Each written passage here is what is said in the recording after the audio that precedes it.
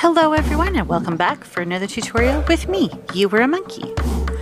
In my latest Ewok tour, you may have noticed the little Ewoks walking around the village. You may have also been wondering, how the heck did I do that? Well, this video is going to show you exactly how you can also play as an Ewok, or really technically, as any rideable tame that you want to play as. Please note that you will need GCM for this, as you will be using multiple commands to achieve your goals. Now, I used the aberrant version because it just seemed to look that much better and they were sort of glowy at nighttime, which also added to the Ewok awesomeness. So now that we have our Bigfoot character, we're going to get on it to ride it. And then while we're on it, we're going to change the age of it. So we're going to type in this code here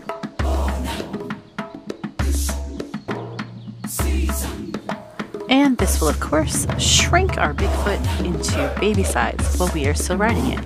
We are also tiny at this point too, so we are also going to make ourselves invisible so that we can just walk around being an Ewok. So to do that, we're going to enter this code here. This will definitely make us 100% invisible. The only way to get rid of this invisibility is to either die or fast travel through a bed, so just make sure you keep that in mind. If you throw yourself off of the tame, uh, you won't be able to get back on it until you grow the baby back up to regular size, which would be the cheat set baby age 1. And that will put it back up to full grown, and then you'll be able to get on it and uh, you'll be able to do whatever you need to.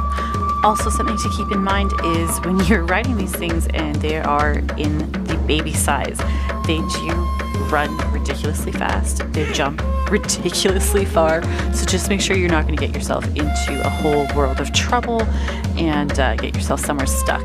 Uh, you can use other commands or you can jump off of them and cryopod them, etc. Uh, but it is just really fun just to run around as an animal. And that's just an example of some of the running and jumping. And uh, I'll just give you a little bit of a better look at this so you can see. And here we go, we're completely invisible and everything is looking great and we're super cute and we can totally run around like this. You can also, you don't have to ride them. Um, you can just set them to wander and they won't breed because they're babies. Uh, you just gotta make sure that your, uh, your growth multiplier is adjusted because uh, you don't want them growing. So now I'm going to show you how this works with another tame, one of my favorites, the snow owl. So now we're going to get on this snow owl. We are still invisible, so I am going to show you just how it looks when it's shrunk. In order to make uh, the flyers still be able to fly, they have to be in grown-up stage and then shrink them while they're in flight, and then it will work that way. But as soon as you land, it's going to take that away. So you won't be able to fly unless they're adults and you shrink them down. And uh, I'll show you how that works in just a moment here.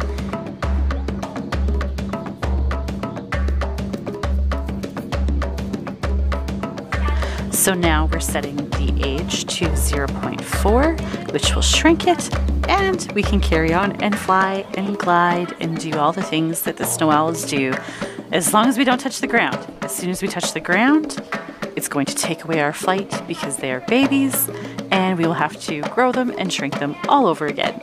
But I thought this was pretty awesome and I just wanted to share it with you. So I really hope you enjoyed this quick little tutorial. If you did, make sure you hit that like and subscribe button and be sure to keep tuned for more tutorials coming soon.